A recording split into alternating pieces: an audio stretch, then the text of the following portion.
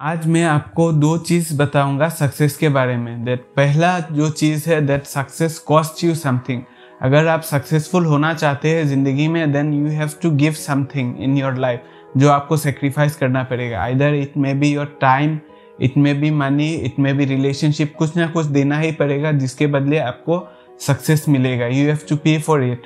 क्या आप टाइम देने अगर आपको एग्ज़ाम में अच्छा करना है then you should give your time अगर आपको एंटरप्रेन्योरशिप में अच्छा करना है then you should also give your time in innovating new ideas अगर entrepreneurship can not run without new ideas तो जो भी है आपको कुछ एक्स्ट्रा देना पड़ेगा. देन uh, आपको you want to earn extra bucks अगर आप एक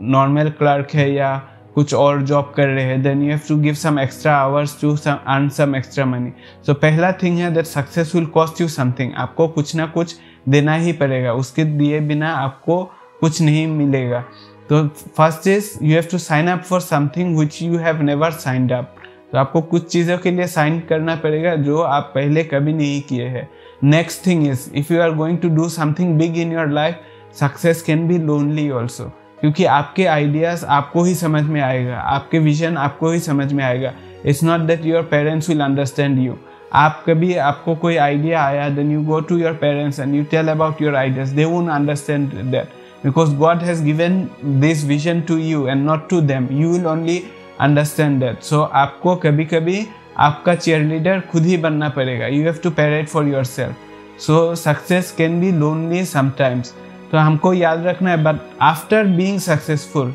most important thing is that we should not forget our relationship जो हमारे रिश्तेदार है, हमारे फैमिली है, हमारे मम्मी पापा है हमारे brother sister everyone we should not forget them क्योंकि success will cost us many thing but